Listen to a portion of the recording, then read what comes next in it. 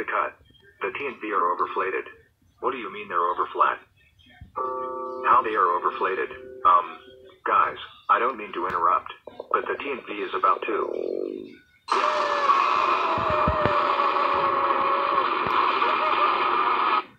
Bomb.